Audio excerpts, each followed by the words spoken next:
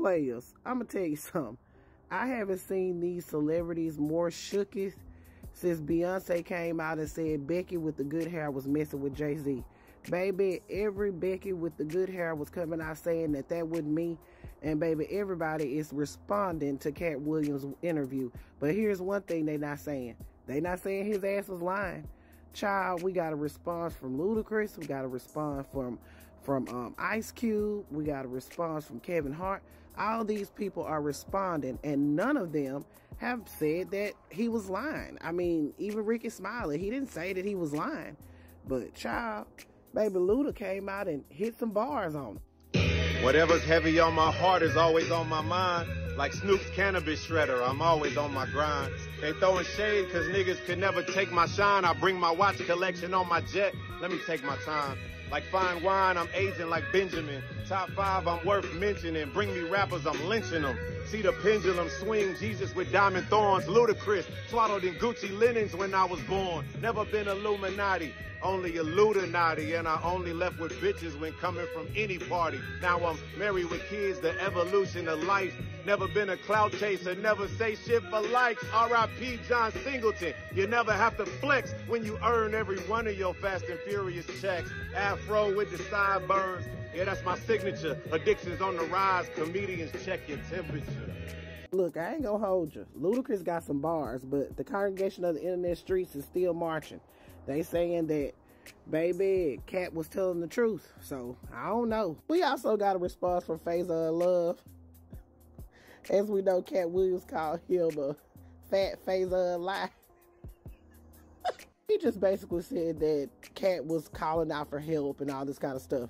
Again, he didn't say that Katt was lying. I mean, did if you said that it was easy to get a Netflix special and you ain't got one, the math ain't mathing and the buttermilk ain't clean. That's my opinion. Now we also got a response from Ice Cube. Now, y'all saw Katt rode for Ice Cube. You know, when people were saying something about the pay, you know, he was standing up for Ice Cube in that regard, but he wanted to clear up the the portion of it where uh Katt was talking about the grape scene in the uh, Friday After Next movie. Cube also threw some shots at the end saying that he put a bunch of people in movies, but none of them have ever put him in one.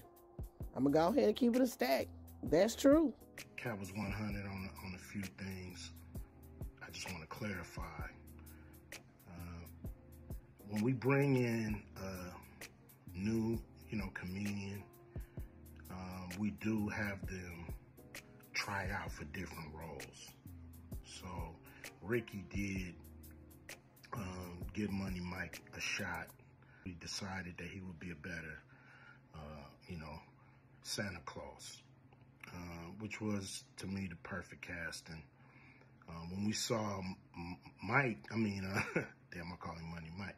When we saw Katt, you know, when I saw him, I just knew that he was perfect for Money Mike.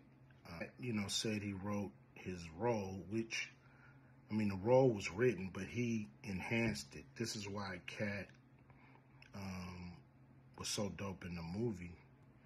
You know, Money Mike had a small role, you know, about as big as the Santa Claus role, but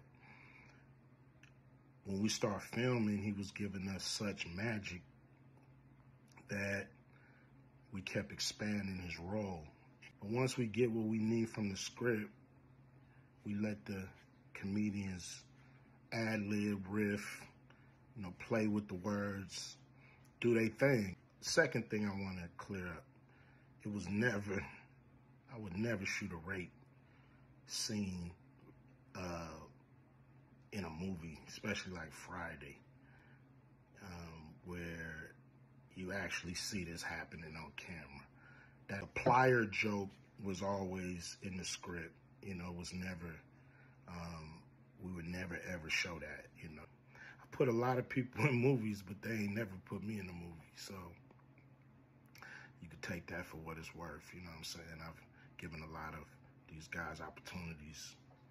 Uh, and I still act, so I'm waiting for a call.